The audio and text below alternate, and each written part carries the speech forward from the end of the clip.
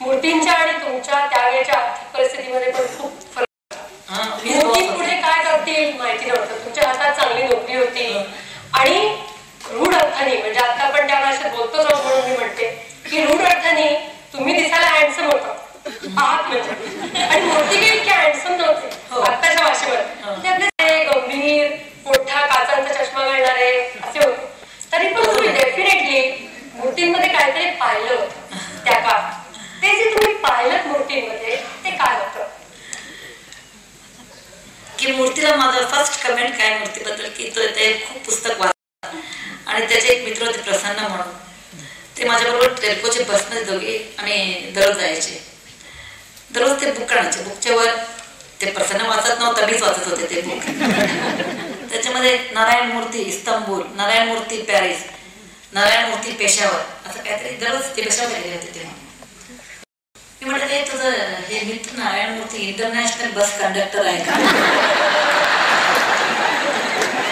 तर खरंच comment मी केलं, तर काय अं, मूर्तीना खरं सांगते पगार नव्हता तेवढा लहान जॉबमध्ये होते अं, आणि very serious rarely I have seen in my thirty three years of association rarely he smiles आणि मी रेअरली आणि ते म्हणतात तू एवढं हसायला तुला काय असतं ते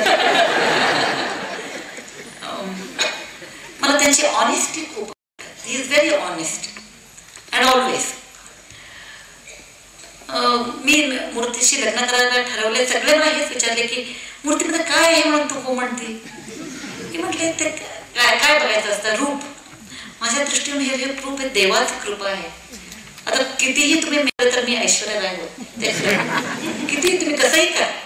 हे रूप देवाचं देणगी आहे. बुद्धिमत्ता पण देवाचं देणगी आहे.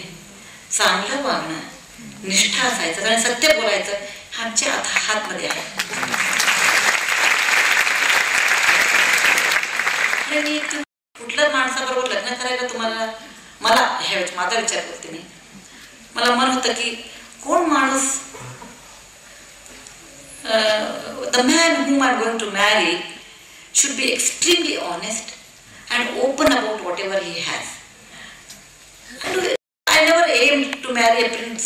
I never aimed to, you know, thought about marrying a rich man because my aim was always to marry someone who is honest and who is well read.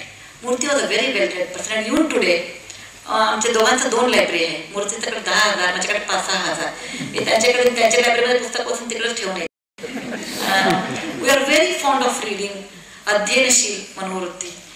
आणि मला केव्हाही लाईफमध्ये अजूनपर्यंत वाटले नाही की पैसे हे महत्वाचं आहे. केव्हाही वाटलं नाही. केव्हाही वाटलं नाही. नाही पैसेचं पैसेचा एम ठेवून तुम्ही लग्न केले तर माझा माझ्या मला वाटतं ते ट्रॅजेडीच वाटतं.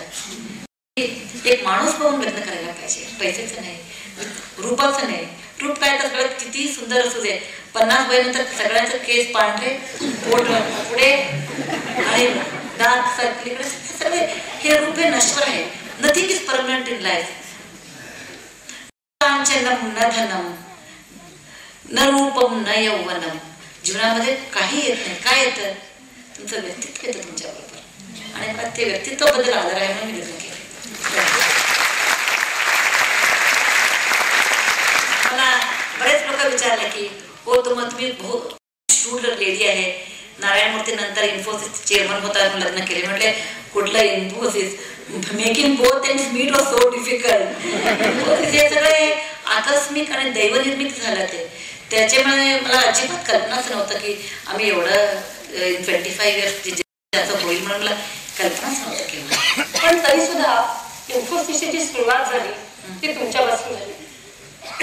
मूर्तींनी जेव्हा तुम्हाला सांगितलं की आपल्याला एक नवीन कंपनी सुरू करायची आहे तर तेव्हा तुम्ही अडीअडचणीच्या काळासाठी बाजूला काढून ठेवलेले दहा हजार रुपये दिले आणि त्यांना काही सांगितलं त्यावेळेस तो क्षण त्या क्षणी तुम्हाला असं वाटलं होतं का की आपण जे दहा हजार रुपये देतो आहोत त्याचा पुढे केवढं मोठं वृक्ष? नाही नाही नाही. मला वाटलं माझा नवरा आयडियल आहे काहीतरी एक ड्रीम म्हणतो करू दे. तीन वर्षामध्ये काय होतं दे. तीन वर्षात मी घर सांभाळेल. नंतर ते फ्लॉप झालं की कंपनी वापस अजून एक जॉब घेईल. क्लिक झाले तर मला एवढंच होतं.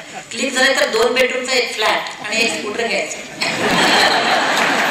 त्याच्या पलीकडे मी विचार केलेच मी केलं त्याची माझं ओ मेरा बस का तरी पण तुम्ही मूर्ती ना परवाच आज सकाळी जाताना आपण बोलत होतो ते सगळ्यांसमोर तुम्ही पुन्हा एकदा सांगावं म्हणून तुम्हाला आठवण करते. तुम्ही असं म्हणालात की मूर्तीला मी सांगितलं की आय बिकम यू ते फार महत्वाचं मूर्ती म्हटलं की मी सुरू करते. आता मला माहीत होतं माझा नवरा कुठेही टिकत नाही जॉबमध्ये म्हणून. पहिलं निरुद्योगी होते. आता तीन वर्ष नोकरी केला तर अजून एक स्वतःच मन काढलं. तर काय करायचं? अं, मला माझं इमिडिएट रिॲक्शन नको म्हटले. मी मास्तर माझे आजोबा मास्तर वडील प्रोफेसर होते. आमच्या घरी कोणीही बिझनेस केलेलेच नाही. पोस्ट मास्टर बँकेमध्ये क्लर्क एल आयमध्ये क्लर्क कॉलेजमध्ये प्रोफेसर असलं एक नाईन टू फाईव्ह जॉब असलेलं आणि साहित्यिक वातावरण मी आहे. कुठलाही बिझनेसच नाही. आमचा एक काकाचा मुलगा होता तुरत जयण्णा म्हणून. तो एक वाणीचं दुकान काढला होता आणि ते पट गेले. कर्नाटकातलं आमचं घर. आणि श्रावण सोमवार शनिवार शुक्रवार सगळं सण. आणि सणाला पाहिजे सगळं गुड आमच्या दुकानावर जायचं दुकान बुडलं का म्हटलं तर दररोज आमच्या घरी मेजवानी त्यामुळे. आमचं हात आमचं दुकान आमचं तिकडं घी. अं, हे आणायचे तेव्हा घी तूप. तो सगळं बुडलं आमचं ते जैनाचं दुकान. त्याच्यावर मी एक लेखन लिहायचे. माझी आमचं व्यापार म्हणून काहीतरी कांदीमध्ये लिहिले अंगडी जैना म्हणून. आणि ते आमचं काकाचं एक गाव विकून ते सगळं दही घेऊ लोन आता मी मला वाटलं की मूर्ती येतात उद्योग म्हणजे तर आम्ही काय विकायचं? ते विचार तर शेती वर्ग होता आम्हाला काहीच नाही. तर विकायला काहीच नाही. पहिलं मी म्हटलं मूर्ती आपण दोघांना चांगला जॉब आहे. मुलगी आता. कशाला करता? मी माझं एकदम सिरियस म्हणून आय हॅव अ ड्रीम आता काहीतरी मला ते मला मार्टिन लुथर किंग ज्युनियर सारखे आय हॅव ड्रीम बोल ऐकूया तरी काय ड्रीम आहे यांचं आय हॅव ड्रीम इंडिया ते मूर्ती इंग्लिश बोलतात he can express more in English than in mother tongue Kannada आमचं ते ते एक्सप्रेस केले की माझा एक ड्रीम आहे एटीन फिफ्टी सेवन साली त्याच्या पूर्वी तेव्हा अं, ह्याच्यात क्रांती औद्योगिक क्रांती औद्योगिक इंडस्ट्रियल रेव्होल्युशन होतं that time दॅट टाइम वर the colony of the British and in the history that we never became rich. Indians always became coolies, we became workers. And now the industry, information revolution is going to come. So we should lead. मी केव्हाही बाहेर जगामध्ये असताना पॅरिसमध्ये असताना मला केव्हाही वाटायचं की Japanese boots are good English boots are good लोक बोलतात I want one day people should say Indian software is good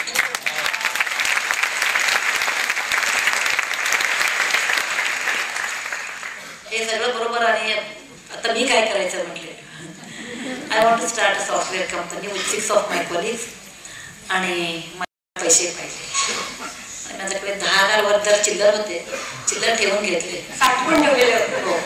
आमची आई सांगितली होती केव्हाही पैसे तू नोकरी करत असले तर तुझे पैसेमध्ये नाही तर न करत असले तर नवराचं पैसेमध्ये जरा काढून ठेवायला पाहिजे.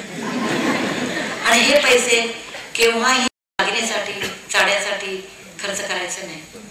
केव्हा जीवनामध्ये कठीण प्रसंग केव्हा येतं माहीत होत नाही. ते आरोग्य असेल मुलांचं शिक्षण असेल घर घ्यायचं असेल काही असेल तेव्हा ते हे डबा तो काढायला म्हणजे एक ओल्ड बोर टीन डबा होता त्याच्यामध्ये मी ठेवला. आणि मी पण अर्न करत होते माझ्या पगारून पण काढायचे आणि त्यांच्या पगारून पण काढायचे. बरेच पुरुषांना असं वाटतं की ते स्मार्ट आहे बायका स्मार्ट आहेत. त्यांच्या पगार पण मी काढत होते माझ्या कारण ठेवलेले होते. ते दहा हजार दिले आणि सांगितले त्यांना मी की मराठीमध्ये एक पोयम आहे.